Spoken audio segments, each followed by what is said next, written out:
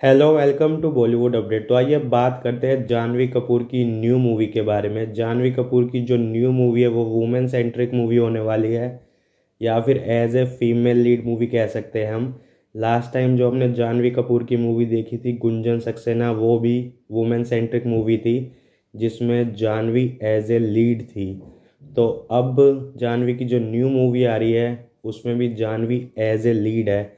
तो आजकल बहुत सारी एक्ट्रेस है जो एज ए लीड कर रही है। अभी हमने यामी गौतम को थर्सडे में देखा, कृति सेनन को मिमी में देखा, उसके अलावा गंगूबाई देखी हमने आलिया भट्ट की। तो अब जानवी की जो न्यू मूवी आ रही है, उसका नाम है गुड लक जेरी तो ये मूवी ऑफिशियल रीमेक होने वाली है नैन तारा की मूवी का।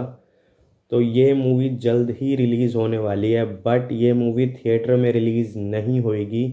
ये मूवी रिलीज़ होने वाली है ओ टी टी पे। हाँ जी, बिल्कुल सही सुना आपने। Good luck Jerry. Janhvi Kapoor की न्यू मूवी जो रिलीज़ होने वाली है ओ टी टी पे।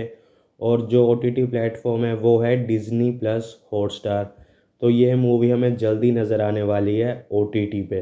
तो आप जानवी कपूर की इस मूवी के लिए कितने एक्साइटेड है, आप हमें अपनी राय कमेंट सेक्शन में ज़रूर बताएँ।